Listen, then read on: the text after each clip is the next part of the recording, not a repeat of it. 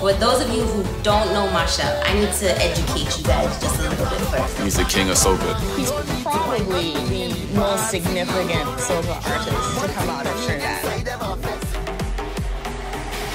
Monday! Monday!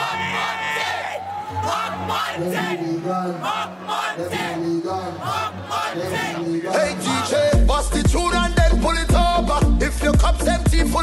These people depend on me for music. They depend on me for joy. They depend on me for, for that carnival spirit. I am a, a holder of this spirit. I am one of the guardians of this spirit.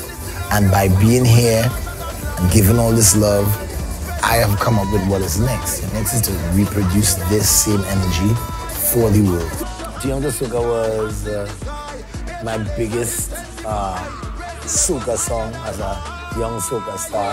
So jump and show them, show them.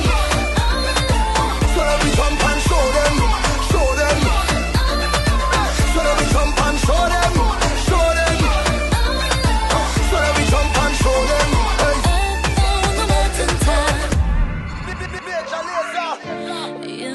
I broke down at the age of 16, almost thinking that I'll do harm to myself.